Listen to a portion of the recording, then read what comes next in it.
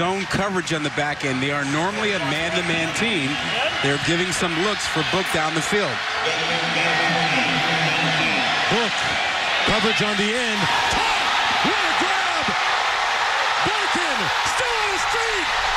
Happy New Year, Irish!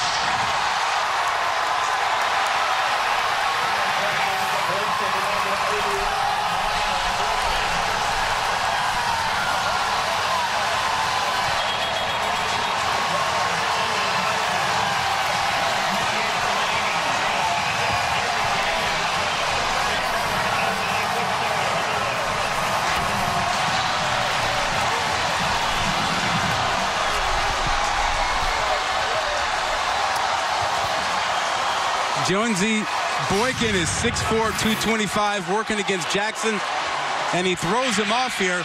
But in the process of throwing him off, did he step out of bounds? Looked good from that angle. Yeah, sure did.